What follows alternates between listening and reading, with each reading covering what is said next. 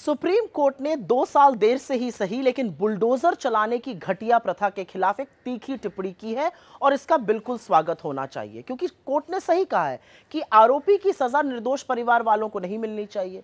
पर आखिर ये बुलडोजर का पूरा बवंडर है क्या? किसके ऊपर चलता है? कब चलता है? क्यों चलता है? ये कौन निर्धारित कर रहा है?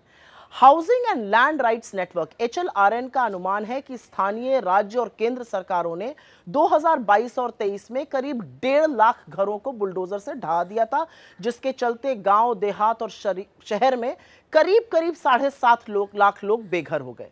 अतिक्रमण को रोकने से लेकर शहरीकरण और आरोपी के खिलाफ हुए एक्शन जैसे कारण इसके लिए दिए गए।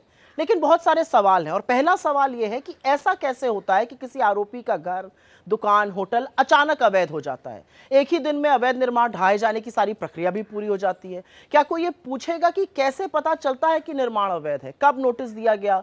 कब उसे सुनवाई का मौका दिया गया? कब निर्माण तोड़ने की तिथि निर्धारित करी गई? और आखिर ये सारी चीज़ें चौबीस घंटे में कैसे हो जाती हैं? लेकिन सच यह है कि अधिकांश जगह बुलडोजर निरंकुश सरकारें नफरत की आंधी को हवा देने के लिए चला रही हैं और एक बड़ा कड़वा सच यह है कि अधिकांश जगह बुलडोजर मुसलमानों के घरों पर चलाए जाते हैं। असल में बुलडोजर बर्बरता का प्रतीक है।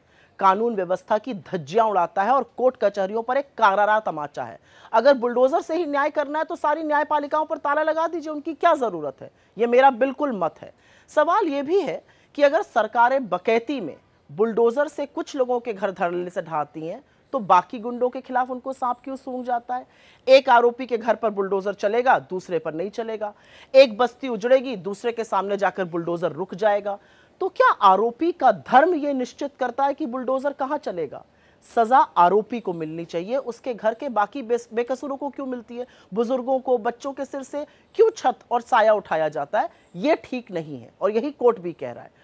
बुलडोजर चलाने जैसी गैर कानूनी हरकतें असल में अपराधी करते हैं, चुने हुए मुख्यमंत्री नहीं।